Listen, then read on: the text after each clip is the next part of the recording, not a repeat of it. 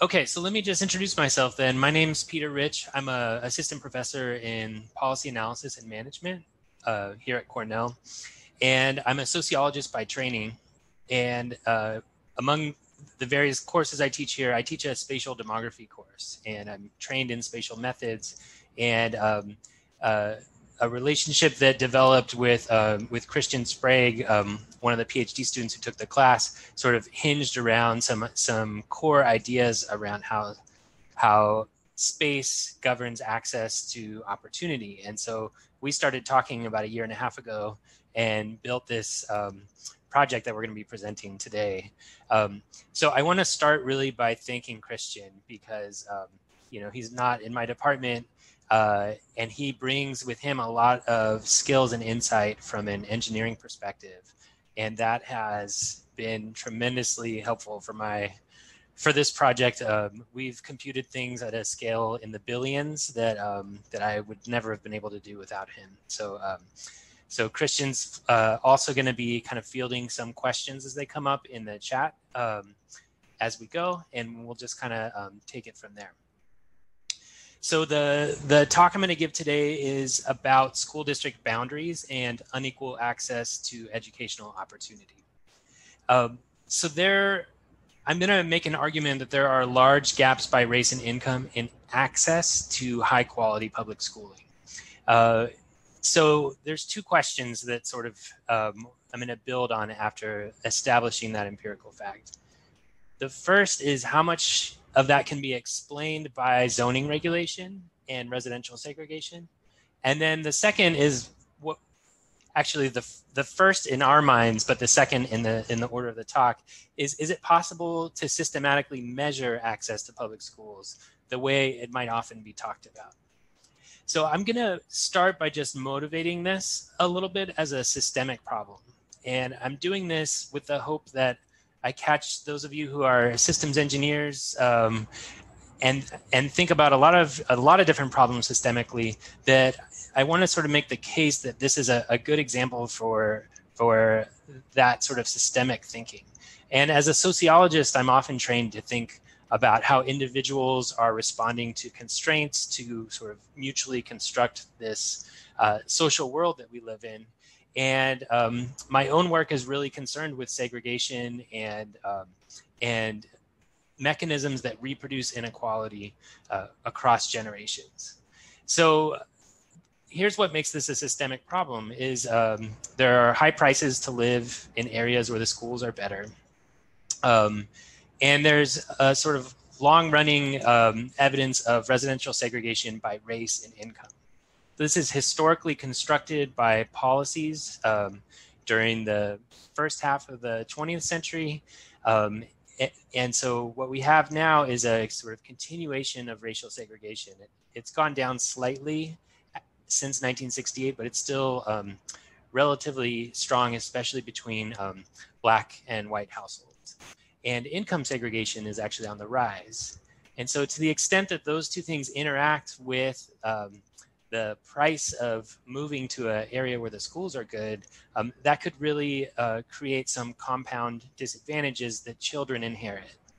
So this is the real problem here is that um, children, through no fault of their own, um, but rather through the circumstance of their parents' resources and the sort of community history that they grow up in, uh, may have access to much more advantage or m- much more disadvantage um, and that that could really have long-term effects over their lifetime as well.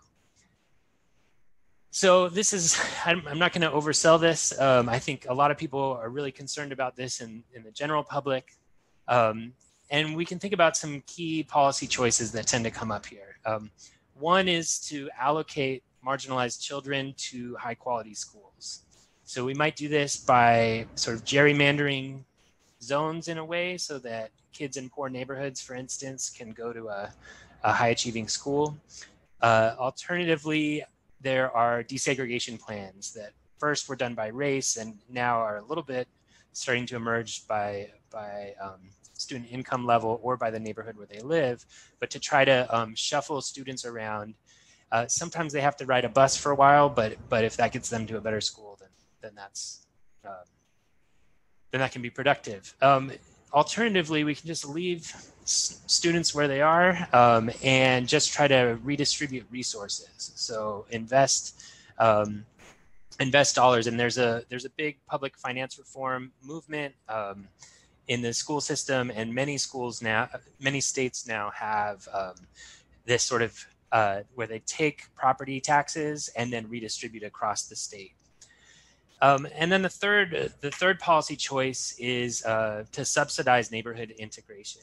Uh, so in the sociology world, many people are very uh, interested in this moving to opportunity experiment that was that was run uh, by HUD um, in the early 2000s, where families were given vouchers to move to higher opportunity neighborhoods. And um, that has shown some promising results for the families that stayed in high opportunity neighborhoods uh, for the long term, that that's had a lot of positive effects on, on kids.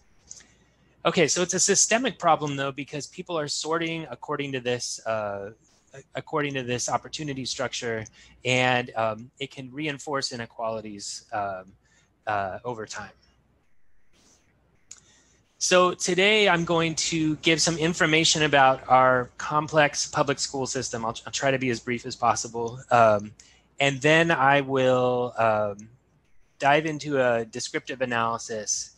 And um, we may have time, um, hopefully we have some time to talk about the measurement complexities uh, that are underlying this project, um, which has been occupying a lot of mine and Christian's time over the past six months or so. Um, and uh, in addition to COVID and everything else occupying everyone's attention, this has become our focus. So, um, so without further ado, let me start by giving you um, an overview. And I'm going to use the Bay Area as an example. So this is the Bay Area in California. And you can see here that we have um, uh, this is San Francisco. Over here is Oakland. Um, Richmond is up here. Um, I'm going to present on the Bay Area simply because I lived there for 10 years and I know know it really well. Um, and I worked in the education sector there. Um, that said, um, we will be showing some national statistics as well. Okay, so first let's think about school districts. So districts are these larger boundaries that um, administer public schooling. So that's a first kind of zone um, where a student lives within a district and that sets the um, number of schools that they may be able to access and other sorts of curriculum and teaching policies. Um, a little more complexity comes from uh, catchment zones. So catchment zones are smaller areas within a district that um, that sort of define if a student lives in that area we know specifically what school they'll be going to. To add to the complexity, there are different types of schools. So um, the light circles that are sort of populating this map are traditional public schools, the ones we might normally think of, think of. But then um, charter schools tend to have open enrollment policies for kids within the district, and magnet schools do as well. And so what we get is some districts uh, like Oakland Unified over here has started to um, bring a lot of, uh, of charter schools into its policy as a way to try to meet student needs across neighborhoods.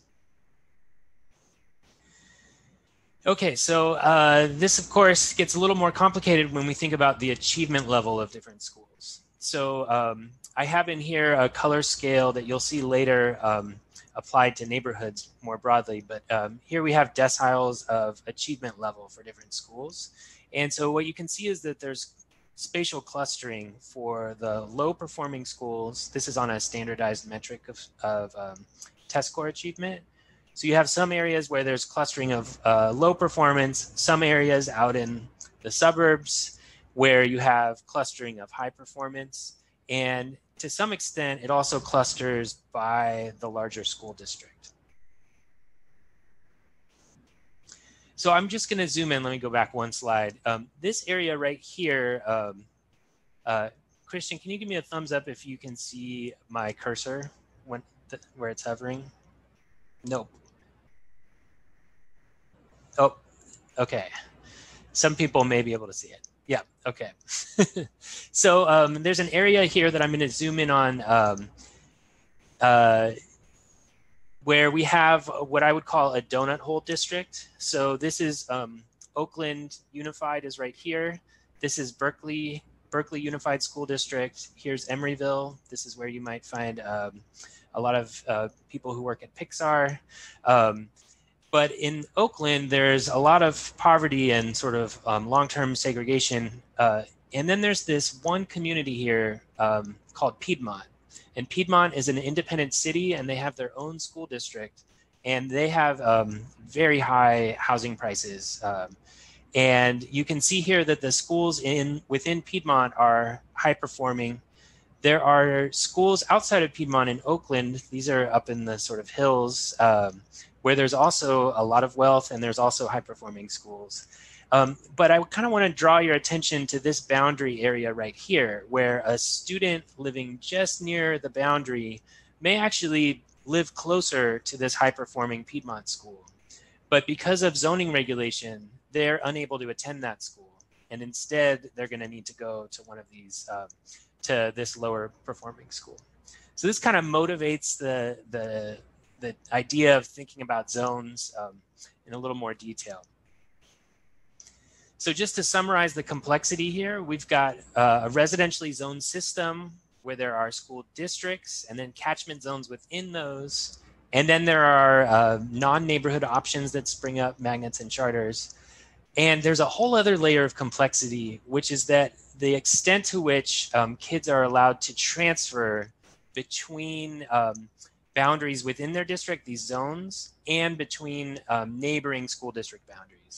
So this uh, array shows us state policies um, where um, sort of across across columns, we're looking at um, areas that allow some kind of flexibility in moving across school district boundaries. So um, Arizona, Colorado, Delaware, Florida, South Dakota, and Utah have very flexible enrollment policy around moving between districts. Um, California is in this sort of um, uh, middle area where they do allow transfers between districts or between catchment zones, but uh, they have uh, they have stipulations about how that happens, and a receiving school has to have the capacity for it, and it's often limited to students who are attending um, schools that are performing below a certain threshold. And so it's not quite open choice. It's more like um, uh, a, a, sort of regulated, limited version of that open choice. Um, and and then there are areas where um, school choice across boundaries is really um, not supported at all. Okay, so we have a very complex national system. There's heterogeneity by state. Um, and even sort of how catchment zones are drawn, all of this uh, makes for a very fun puzzle because something that you'll often hear if you ever are seeking to buy a home, you hear the, the mantra location, location, location, and the question of how good are the schools. And um, even just as understanding what school someone would be assigned to is a very locally specific type of knowledge. Um, so the zones produce some inefficiencies that I want to walk us through just a little bit here. Um, so what we've done um, from the from the outset is actually measured the distance to all schools from every block effectively. Um, so, and we've measured this using um, road network data. So here's my, my, one of my advantages to working with with Christian on this is um, he thinks a lot about transportation and, and land use. Um, and furthermore, he ha- has some really good computational skills that I uh, was unable to, to leverage on my own, where he had to, uh, computed billions and billions of, um, of commute distances using um, open source route mapping software. So we've built this huge database where we not only have distance, but we also have the commute times. Um, we haven't incorporated those yet. But we're looking at um, sort of how many kids, uh, just as an early descriptive, how many kids um, are unable to attend their closest school just because of a district boundary line. It turns out that that's about 1.5 million kids age 5 to 9. We're going to be looking just at elementary schools here. And that that on average creates an excess commute of a, a little over three kilometers per trip. So annually per student, um, 180 school days, two trips each way. Uh, this is sort of a lowball estimate. Um, we're we're seeing about 1,200 kilometers extra travel per year for for these kids. Um, the commute burden is largest in the south, and it's bigger in rural areas. Okay, I'm seeing a couple of chats come up. Just wanting to make sure. Um, I have not managed my chats very well. Um, Christian, we're good. You're handling okay. Okay, so uh, you know, so that's a large chunk of students, but that doesn't necessarily mean they would go to the closest school. We're not we're not imposing that assumption at all. But just from the outset, that sort of gets at a problem of a modifiable areal unit problem that we talk about in spatial demography. But it's really an issue of scale and how zones sort of cluster and aggregate accessibility in ways that can be inefficient at the margins of those boundaries. Um, and a sizable number of kids would actually be able to go to a top quintile school if not for those school district boundaries. So, uh, where I want to go with this, though, is to talk about that this is not just an inefficiency problem, although that is certainly important. And from a transportation and infra- infrastructure standpoint, we really care about that. Um, the sociological side of my my interest here is really on thinking about how this um, impacts uh, gaps in inequality by race and by income. And so um, this, these means right here, these are average achievement of accessible schools, which I'm going to explain in a little bit more detail how we arrive at these means. Um, uh, but this gives you a sense overall of what we're looking at, where um, Black children, based on where they live in blocks throughout throughout the U.S., the average schools that they're that they're accessing um, are much lower in terms of standard units than white students. So we're estimating a gap of negative 0.41. Sometimes it's hard to, to read just in, in standard deviation units. Um, so some people do a sort of back of the envelope suggest, suggestion that this would be um, roughly like uh, 1.7 grade years behind. Um, in terms of the sort of peer achievement level.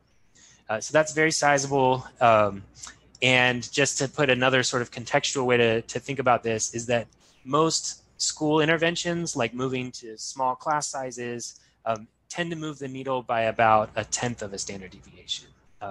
So about 25% of, of this gap.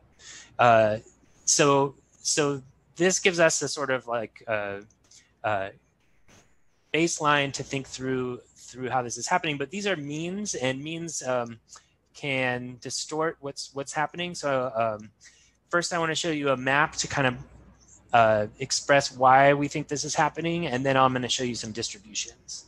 So this is a map in the Bay Area of um, median income. These are in decile bins.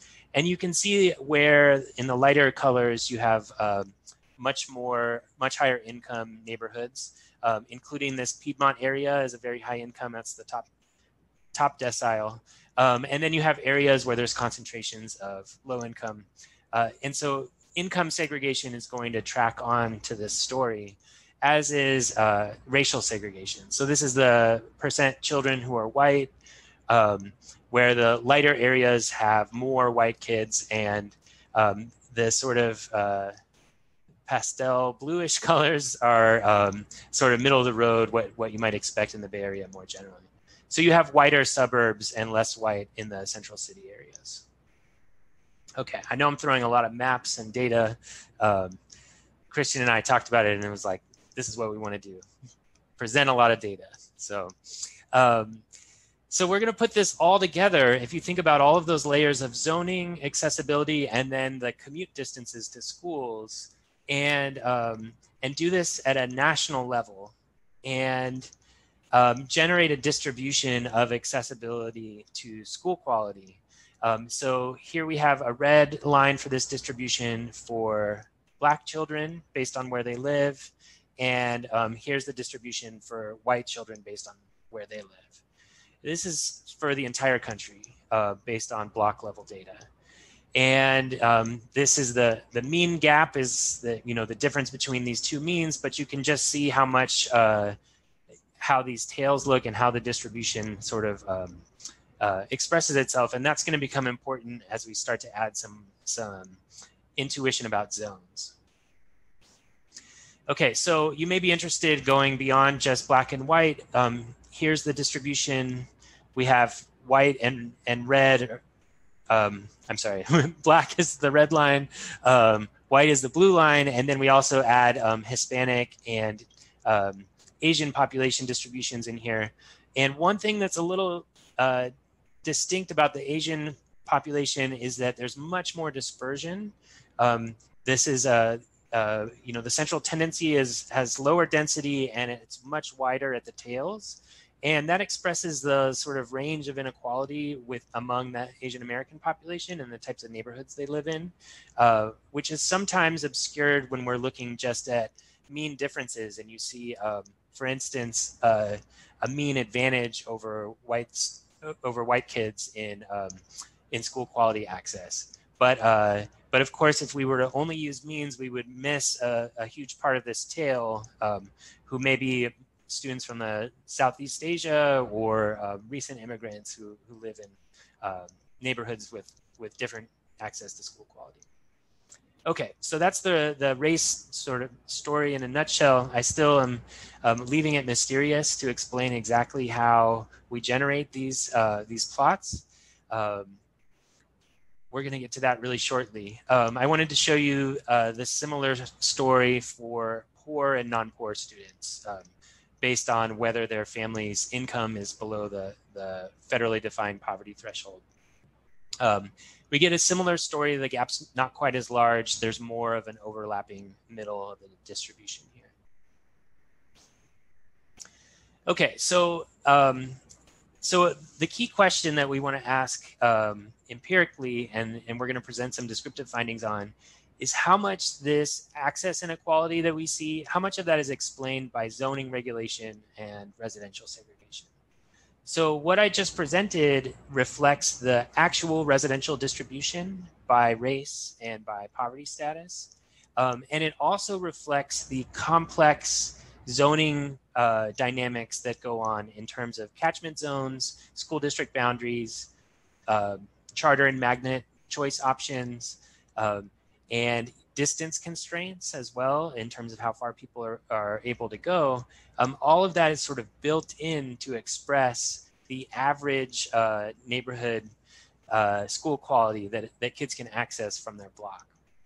So uh, to define access a little bit more clearly, um, let me just walk you through uh, through how we're thinking about this. So for each census block, we're kind of thinking of a moving window where we consider all schools within 25 kilometers from its centroid. Um, and we measure driving distance using road net network data uh, for all potential school matches within that area.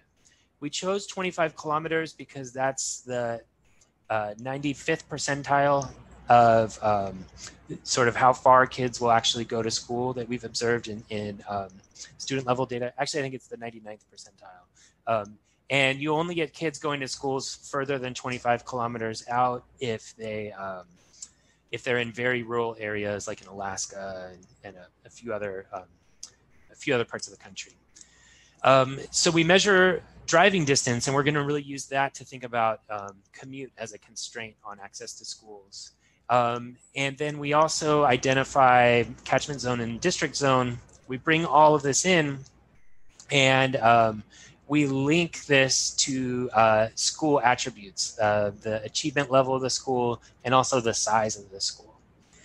Um, so all of that together gives us an idea of how to do this but the question is like how do you build how do you operationalize all of that information in a in, uh, empirically consistent way that accounts for all sorts of problems like different densities of school options different population densities competition potentially between students uh, to attend attractive schools um, all these sorts of factors we need to think about um, and so the way we do this is we take a weighted mean of all the schools that, that are accessible.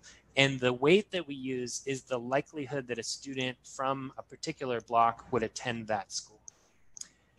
So how do you measure likelihood of attending? So uh, what we've done is actually accessed um, a system-wide um, student administrative data set where we see over a 20-year span where kids live every year and where they attend school.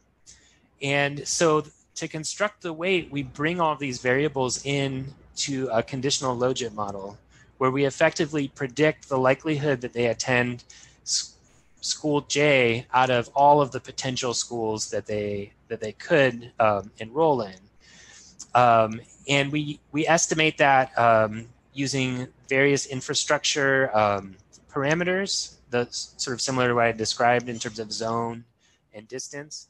And then we also add in um, attract sort of attractive features of the school that might induce competition. Um, so then we take the parameters from that model that are just about infrastructure uh, and we graft them on to national publicly available data as a way to basically express this same probability um, uh, under the assumption that the school system we're using, it's a state. I haven't gotten permission yet to share the parameters or tell you what state it is. It's not California. Um, but uh, uh, but we we basically assume that the way um, families are sending kids to schools is relatively similar. Um, so we so that's the sort of basic idea except we're not going to do it just from the perspective of the student choosing a school we're also going to consider the perspective of a school choosing students and so we develop a similar model from the school perspective and um, we then generate a weight for every block school pair um, that's based on the probability a school um, would sort of pick a student from that block under certain constraints.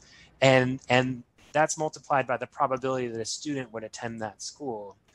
That joint probability um, is then summed up over all of the options to a block um, and and so we take any one joint probability and divide by the sum of all of them to get a weight for uh, uh, for that particular school so we're taking a weighted mean. There, we considered a whole lot of other options, um, including you know a, a very simple uh, like inverse distance function, uh, a Gaussian weighting function that uses distance. But we like this approach because it actually incorporates student information um, and student behavior, and uh, we're able to control away um, some things that might be affecting our, our parameters, like um, attraction to um, uh, certain school quality characteristics. And um, and then the last thing, um, the, the, last thing that I'll say about this is uh, Christian has has helped me uh, really attend to the problem of hyperparameters, and that we want to be careful how much we uh, insert, how many assumptions we insert into any kind of a, model. And so um, most other weighting structures require um, some sort of arbitrary thresholds or, or um, exponents on distance that, that we didn't want to put here. Okay, so we've got a bunch of data. I want to get back to the results. So I'll just tell you we're bringing in all of these different data sources and bringing in um, the geographic component. And we use this to estimate neighborhood access to school quality at the block level for the entire country. Um, and so this map now, instead of having schools on here, these are neighborhood polygons uh, at the block level. And every block is sort of scored based on the average school quality um, that it's access- that it has accessible to it. So you'll see large sort of um, uh, uh, negative, or, or, I'm sorry, lower access to, to high quality schools in the south which is really consistent with education literature. Um, in Massachusetts and in parts of the Northeast, you see uh, much higher access, and also in the Midwest. Um, the Bay Area over here is a sort of pocket of high, relatively high access, um, but rural areas in, in California tend to have lower, lower performing schools. Okay, so we're going to zoom in a little bit um, back to the Bay Area and you can see here how these neighborhoods, um, how these neighborhoods kind of track on. Um, so the district boundaries are still in play in California. There is a friction component. So, so we've estimated um, from a state that it sort of allows some limited access across boundaries. So we can use that information to um, sort of uh, account for the possibility that school that there these boundaries might be semi-permeable, but that there's some friction costs associated with them that we're going to pick up on. Um, you can see in San Francisco over um, over here, the sort of thumb uh, in the Bay Area, um, the thumbnail. You can see that we're picking up some distance factors within San Francisco. So San Francisco doesn't have catchment zones. I don't think so. We don't have catchment zone data. So, uh, and I'm pretty sure it doesn't actually have catchment assignment zones. So you see a sort of smooth function that's happening within um, within San Francisco, where in Hunters Point um, and parts closer to downtown, there are lower performing schools. And then out as you get toward the ocean, you get into higher higher performing schools. Okay, so that's our this is our crowning achievement is being able to map this nationally.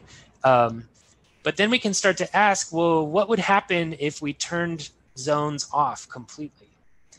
Um, and the reason we can do that is because we've measured accessibility for all schools, uh, uh, sort of either whether we account for these boundaries or not. And so by repredicting our um, our score under different scenarios, we can sort of get a sense of how much um, what this might look like if the zones were not playing a role. So I'm going to uh, toggle back and forth just so you can see we have a sort of sharp relief here and in some cases, um, uh, accessibility is really snapping to a district boundary. And then when you um, turn off those, it smooths, uh, it sort of smooths the distance function and allows a little bit more accessibility. So I'm going to zoom in on that area of Piedmont to give you a, a better sense of how this works. So on the left side, we have our current policy context, and you have some um, neighborhoods here that are accessing lower performing schools but this district boundary is uh, sort of doing its job so so to speak to ensure that kids in this area are are accessing these high quality schools. They're paying higher they, they pay excess property taxes um, through local bond issues to help fund those schools extra. Um, but the kids right here are just sort of they may have lower uh, property values lower taxes but from a kid's perspective, they're just um, blocked blocked from being able to access some of the nice schools here. But if we um, smooth this a little bit, where distance is still a factor, but um, and and capacity is even still a factor, but we see how uh, the blurred lines produces a scenario in which um, kids in these neighborhoods now have access to some of these higher quality schools, and that's uh, bumping up their average.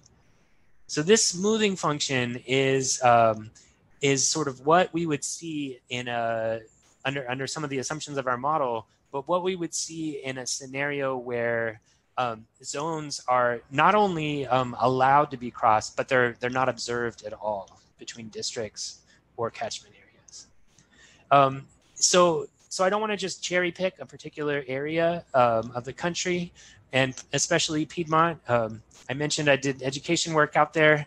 Um, I worked in the Oakland schools in, in East Oakland down here, and um, I tutored kids in, in Piedmont, and um, they helped subsidize uh, my my early 20s. And so I'm I'm not mad at the kids in Piedmont. I'm not mad at the families, but um, I think it's important for us to quantify the what we sort of gain and lose in um, in sort of enforcing boundaries. Okay, so you've seen this distribution plot before, and now I'm just going to show you again, this is the sort of racial inequality in the sort of existing policy context. And now we're gonna look at how this might look if we were to drop the zone policy and, um, and just have location. So if we drop zone policy, but we still fix where people live, you see how the distribution shifts um, for black students um, just a little bit over to the right, where it's the left tail for students. Um, these students are dramatically benefiting. Well, sorry, I'm talking about a distribution, not particular students. But what we're seeing is um, that this shift over is allowing students greater access to higher performing schools just by turning off boundary enforcement. Um, for white students, the distribution shifts in the opposite direction. So what we're, we're getting is this sort of shift a little bit towards the center. Is it a huge shift? No, because it's only really going to be the kids at the boundaries who are going to be the most affected by this. Um, and we're also estimating a fairly conservative model that assumes kids would not go very far. Um, if we allow for a longer distance to get to school, um, then then the effect is a little bit more dramatic. But um, so the, the gap goes down um, from point negative 0.41 to negative 0.381. So we're seeing a little bit of a, of a change there. Um, so, so to kind of take stock from here, um, I want to be really careful. The, the way that this analysis is set up, you may see this and say, oh, is, is this an argument then that we should turn off the zones? And um, I want to be careful about overstating that um, because what, what we're doing is fixing residential location. And if you uh, you can't fix people's residential location because people make choices and respond accordingly, and you may argue that actually they've already responded to their choice sets by making residential choices to move to Piedmont or move uh, to other areas. And so, uh, so what we're doing is kind of observing something in static equilibrium and asking how much work are the zones doing above what the sort of residential distribution already um, uh, already would do. So, uh, so a way to describe this in economic terms is that we're um, we're sort of looking at this in static equilibrium, but there are real general equilibrium challenges. So, like I mentioned, residential sorting um, could occur in, in response to it. Um, and also, if you change which students um, go to which schools, that could fundamentally change the composition of the schools, which may then also change the um, the the quality itself, the achievement level of the schools themselves. Uh, and so this is a re- this is a really complicated question to ask what would happen if we actually changed the policy, and I'm not able to answer that at all right now. Um, we're thinking through some dynamic sorting models that might help us think through this a little bit better, um, at least get some bounds on on what might happen. But um, that doesn't mean that this is uh, devoid of policy implications. There are smaller scale lottery type approaches, like Boston Metco has a program that um, uh, gives a small proportion of kids from the Boston public schools access to um, outer suburban um, high quality schools. And uh, there's been a lot of mixed evidence on, on how effective that has been about student outcomes and that sort of thing. But one of the key things I want to settle on here is that it has not induced some widespread residential gaming of people moving right near a boundary or people moving away if their school gets Metco students in. Um, so, you know, conceptually, we may also think about other policy options. And so, this earlier slide that I had shown you, I was thinking about what we could allocate children to different schools we could also subsidize neighborhood integration, and um, this is more of a, a, playful idea than than thinking that this has a lot of policy uh, traction right now. But I want to give you a sense um, of how residential segregation within school districts uh, might help explain this. So the the solid lines are the still the two distributions that I presented earlier that are sort of like the true reality.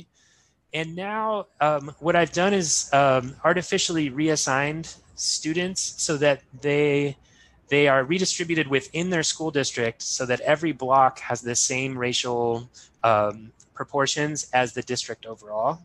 And in that reassignment, I ask, okay, now now what do we see? And you do see a, um, a bigger adjustment on the gap. It was at 0.381 and now it's down to 0.297. So that tells us that segregation um, within school districts is certainly playing some sort of a role here. Um, but segregation between districts is um, playing a much larger role. So uh, the mean black-white gap in the sort of um, uh, current policy context is 0.41. If we were to reassign just kids in metropolitan areas um, to block so that they're evenly distributed um, based on the overall metro area racial uh, composition distribution. Um, if we do that, we get a um, the the sort of black uh, distribution curve here moves dramatically to the right, and the white distribution curve does move a little bit. It does move to the left. Um, they're not perfectly overlapping because there's still a rural story that's not accounted for here, and there's also differences between metro areas that are that are still sort of allowed to express. But um, you know, I'm not suggesting that it's viable for us to um, uh, reshuffle people everywhere, but this instead sort of tells us uh, a little bit about how much of this story seems to be driven by uh, residential segregation between districts. Okay, so this project uh, is going to go some places. Um, we're looking at neighborhood predictors for it, um, building some dynamic sorting models uh, using student level data to think about how choices might change, um, uh, how outcomes might change for students. We're bringing in housing price data at the housing unit level to think about uh, in hedonic analyses, how much are people paying for the sort of marginal benefits they're getting from the boundaries. And um, looking also at residential selection models from family panel data, and then using this to predict some bigger question onto bigger questions like how much uh, does this add to our understanding of intergenerational uh, economic mobility and inequality. I'm sure I've mentioned a lot of jargon words that I've forgotten that they're jargon, so I apologize in advance for that. Um, so let me just summarize and uh, conveniently, um, or not so, maybe we can get to it in the Q&A. Um, uh, I haven't gone in depth on the methods the way I wanted to. But just to summarize the descriptive results, um, zoning boundaries sort of stack onto residential school access inequality. Um, it's about 7.6% greater with zones than if we were to just sort of accept the existing residential uh, distribution for black-white access and then similarly uh, for poor, non-poor access. So there is potentially a positive effect of open enrollment policy, but that's probably going to be inhibited. These are not massive changes, and that's going to be inhibited by the commute costs of where families could actually move, and then over time by responsive sorting. So um, this uh, array that I showed you um, does express variability and a sort of um, certain states are very pro open enrollment. And um, I certainly wouldn't stand in their way of that, especially um, open enrollment across district lines. But um, it's not likely to make a huge dent relative to the distribution of residential segregation that we have in the US. Okay, so so that's the sort of summary. Um, and the next sort of set of slides that I um, would like to show you, but I'm gonna I'm gonna wrap it up for a Q&A. Sort of give us some equations and walk you through the intuition of the model a little bit more. So um, and sort of talk about why where the innovation is happening. So I'm skipping past those, um, getting to my thank you slide, and um, uh, you know actually for our discussion, I'm going to put up this map um, to maybe spur a little bit of the discussion here and, and see what you all um, have to say. So uh, I haven't. I'm not sure if somebody how we should moderate this. I, will pull up the participants, and if you have a question, maybe you can just raise your hand, and I'll look in the queue, and we can start talking from there. So thanks for your attention. Zoom calls are tough, I know a little bit. Um, hopefully, this had enough exciting data for you to to pull you along. Okay, I'm seeing the first question from Philip. Hi, I actually had two kind of small questions, um, if I may ask them. Um, the first one was um, if you think kind of a move to um, like online learning or, or something like that um, is going to help um, stop this to some degree because there's so many resources out there now that enable people of any kind of economic status to access really valuable information. yeah, so I'll say this would this would be a way of totally flex you know making the system totally flexible and you could um, attend essentially the the best school in the country you know according to your preferences that's a really good question um, I'm, a, I'm skeptical about how that how we will transition to that i think uh, there's been a lot of pushback um, among teachers. Um, there's been a lot of pushback among families against online learning. And so that may be the kind of thing that is uh, most likely to get uptake from higher resource families that can sort of facilitate learning at home, uh, maybe don't have dual, dual income earners. Um, and uh, and so the extent to which that would close these gaps is, is harder to estimate because I, I think public schools are, are still going to be around. But that's a really good question. I've been thinking about that too under these conditions. You had a Thank second you. question too, I think, right? Yes, yes. This one's uh, pretty short, but I was uh, getting rid of the boundary lines. I was just curious if you think that would have an effect on the housing prices that were, let's say, just just a block away um, from the boundary line previously, but now that there's no boundary line, maybe those kind of houses would um, increase in their value or, or not. I don't know. What do you think about it? Yeah, so this is where we want to go with the um, uh, the housing price data. Is uh, I've seen some really cool studies of specific areas, like um, in Denver, for instance, where a zoning change um, it led to smoothing of, house, of house prices on both sides of the boundary. So the the sort of blocks on the sort of privileged side of the boundary, once that boundary gets lifted, the premium they were paying to live in there um, doesn't really hold in the market in quite the same way. And vice versa on the other side, now new access sort of would would allow that to happen. So your intuition there is is definitely right. And you know, there's one thing I want to add to this. Um, as someone who studies uh, racial inequality and racial wealth gaps, that um, that this actually could affect how homeowners, black homeowners, the sort of depreciation or, or lack of appreciation in, in house prices uh, accrues over time if they're systematically in areas under historical reasons and discrimination reasons. Um, if they're systematically in areas that have lower performing schools that track less well onto the market, um, this would be a, a, way that that sort of um, builds on to that black black white wealth gap. Thanks for your questions. Um, I, I see Shane up next. Yeah, thanks very much. Um, yeah, super interesting and um, terrific work on quantifying some of these things. Um, I was curious. The school tax system is is a is sort of somehow closely related to a lot of these issues if you could wave a magic wand and have schools essentially centrally funded from the federal government down, to what extent would you be helping or hindering? Yes. Okay. Thank you. So there is um, there's there are a couple um, really important questions that are sort of embedded under that, and so um, so what I'll say first is that in states where there has been school finance reform that takes that funding, centralizes it at the state level, and then redistributes. Um, there have been positive gains on a number of outcomes for um, poor and racial minority students. Um, there's a couple great uh, uh, economics papers that came out in the last few years that have really articulated that, which upends some of the conventional wisdom, at least in the education world, which is that it's not clear how much resources track on to, to outcomes.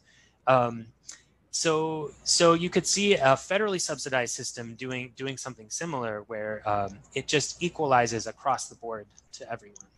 Um, I would argue that that may still reflect a lot of inequalities in terms of student outcomes because the distribution of needs is not equal, and so uh, a compensatory model or a progressive model might take those federally subsidized uh, that those sort of federally concentrated funds and then distribute in a, in a way that uh, or redistribute rather in a way that um, students with higher need get more. That that would be what i would advocate for uh, whether that receives much policy traction is a whole other story. But uh, yeah, I, I, think about this all the time, and, and actually, um, uh, I have a friend from Germany who just thinks that our entire school system is insane. Uh, whenever I talk to him about this work, he's just like, "Why would you do this?" Um, you know, if anything, you would want the students um, inheriting the most disadvantaged to have access to even better schools, and you certainly wouldn't want to tie it to real estate and family background when I talk to my friends from New Zealand, well, I'm from New Zealand. When I talk to the folks from back there, yeah, everyone just shakes their head. Yeah. okay, I see a question from Al next. Actually, uh, mine was very similar to what Shane asked. Um, so just drilling down a little bit further here, um, what what percent of the of the support of school districts? You know, I realize this varies widely across the states, but what what percentage of them comes from purely local school taxes and and from state assistance? Like in New York State, we have a mix here. Low performing school districts get extra money. Uh, from the state, but I, I don't know, you know, has that, has that come into this at all and affect the results if you looked at that? It's basically similar to what Shane just asked you. Yeah, thank you for that. Um, so I don't, I don't have, um, I don't have data to present on that. Um, we have looked at per pupil spending, and we do have at the district level, we can collect information about the proportion of expenditures uh, that come from the state, the federal, or from local property taxes. And so we can build that in um, to the model uh, and think through this a little bit. I did do some sort of per pupil spending. Um, like if we shift away from test score achievement and just use per pupil spending, um, what's interesting is actually the, the gaps, the black white gaps, are not very strong based on what's available in the in the public data. And this gets back to this other uh, this other idea, which is that um, uh, if funding is perfectly equal, but the population's starting positions are fundamentally unequal, then we'll sort of see a persistence of that inequality. So, so what we've seen in the finance reform movement is that either states um, are offsetting differences in property taxes um, in different neighborhoods uh, by sort of centralizing, um, but also the federal government has Title I funding um, where it distributes to, to um, predominantly poor schools, it'll distribute extra funds. And then it, um, it, it, attaches policy requirements to that, like, um, you know, uh, districts can't be enforcing segregation or something if they want to get their Title I funds. Um, and so, so, but your question, your question in Shane's has me thinking that um, an, an obvious direction to take with this is to build in the property tax part of the story here and think about um, how much that's generating inequality and then how much as another policy option would be to sort of try to offset this. You could imagine in fact um, coming up with some kind of a formula that inverts the uh, the neighborhood access to school quality metric that we've put on. Um, it sort of inverts that and uses that as a funding formula uh, a, a progressive funding formula Oh, I'm I'm sorry. You're you're muted there. I said politically that would be difficult. Uh, so a, a, particular case that, that might be interesting is that I believe that if, if there's an army base or a, a military base in an area, they get supplemental funding of some sort, and that might give you an interesting case to see what that does to local districts that have heavy, uh, you know, military base increments. I, I don't know a lot about that. I just know that it exists, um, but it seems like it might be interesting. Yeah, absolutely. Um, so I will say there's this other component, and this varies by state as well. But there are um, there are local bond issues that emerge. Um, uh, so in California, for instance, um, Piedmont has voted to infuse a, an additional uh, $9 million into their school system by raising local taxes sort of separate from property taxes. And um, and I find this to be a really fascinating phenomenon because, uh, in one sense, this is a an inequality producing um, thing that they're doing because they have the resources um, to do that. So I'm just actually gonna um, show you from their website here. I was pulling it up while I was talking. Um, so right right at the outset for Piedmont, you can see, I mean, these it's a world class education system there, and um, residents demonstrate their commitment to education in a variety of ways, but most importantly through a parcel tax contributing approximately nine million dollars, um, nearly one third of the district budget uh, yearly, and um, so that's one way that resources get infused. Um, it's a pretty small city too, so that's it's not a small tax, and um, uh, and and so there, but it's interesting that they frame it as a commitment to education, um, but it's for the kids in their community, not a commitment to education more broadly. And so, if you, what would be even more unpopular in my um, uh, armchair. Uh, top-down uh, policy making would be to take any form of informal funding and equalize that as well. Um, I'm, I'm certainly not proposing that we do that, but but we may need to think carefully about the ways uh, communities will always respond uh, to try to maintain an advantage.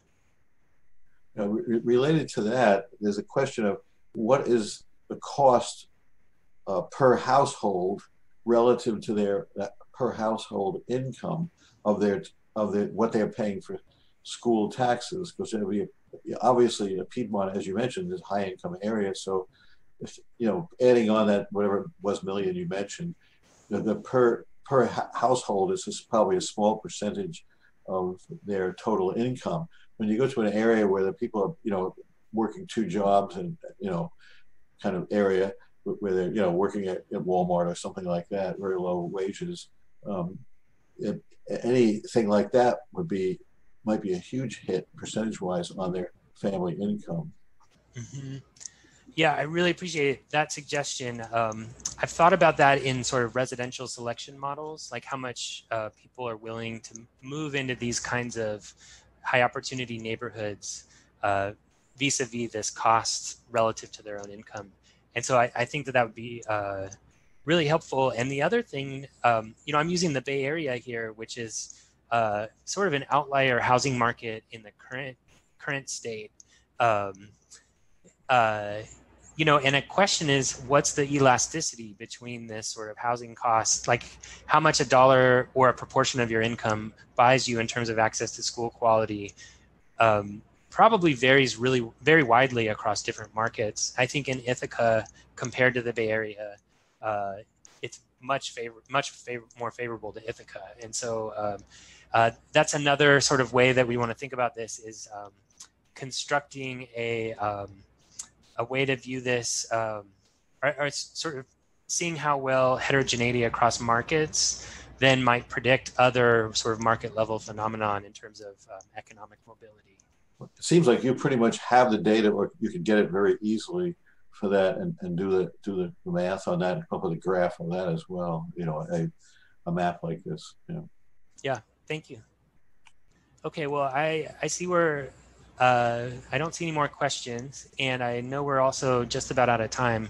Um, so I, yeah, this has been really fun. Even though in the Zoom session, it's always hard to get a sense of uh, of how how the talk's going. I, I much prefer to give them in person, but um, I really appreciate these attentive questions. And um, you know, again, a lot of the behind the scenes work that made this possible is um, uh, Christian, who not only did the computational stuff, but has really worked through the models with me, and uh, we're both like uh, thinking about conditional logits um, like 20 hours a day, I think, and so uh, uh, which is really fun to read the transportation literature where a lot of that comes from as well. So um, uh, I want to thank Christian again. He's been uh, outstanding on this, and, and we're excited as we continue to make progress. Thanks for your comments.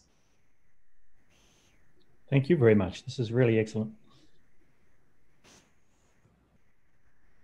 Very interesting, yes. Thanks. Thank you. Thank you very much. I'm happy to stick around if anybody wanted to talk a little more too. Well, since the, my mic is still open here, uh, another interesting case would be that New York City has has had magnet schools for forever. So I don't know what that means forever, but before I was born, which is a long time ago, um, where uh, they were particularly tech schools and uh, some others as well that you could attend. I had relatives, and I know I had lots of graduate students or undergraduates too who had been to some of those schools um, in, uh, in, the, in New York City that you could just do a competitive test to get into them. And I, am not sure how that relates to what you're saying, but I have a feeling it does somehow, as a, ca- a case of what happens, um, what, what opportunities they do. I don't know. I have no idea whether segregation, you know, the color of your skin meant anything in 19 let's just say out of the blue here, 1950 or something like that, to getting into Brooklyn Tech, or there are a whole bunch of them in New York City. Mm-hmm. And some of them were for art and some of them were for technology. Um, but that would be interesting. To go back and look at that. And I think, I imagine by now it's not, it's not, not a factor in your admission. I, I would hope so, at least. And uh, it might be another interesting small, smaller study somebody might look into, maybe a master's study or something. Yeah, uh, I've been thinking about these sort of uh, academies that have entry requirements. So um, there are the, the, big three in New York City, and then um, Boston has Boston Latin, I think, is uh, is the big one there. And it would be really helpful to catalog where there are entry requirements for these magnet schools, and then actually um, consider adding an additional friction component on to those. Um, the the friction component is is this interesting little feature that we have where um, because we observe students in a system that ostensibly allows inter-district transfer, but it still makes it pretty hard to do.